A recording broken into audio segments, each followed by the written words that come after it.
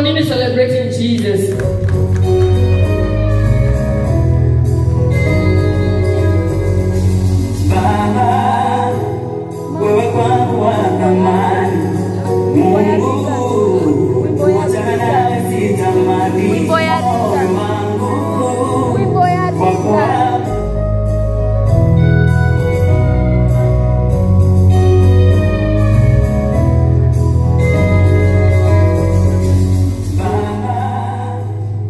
Tutaka kumwambia Baba ni wa dhamana kwetu. Wapi shangwe na vigelegele kwake?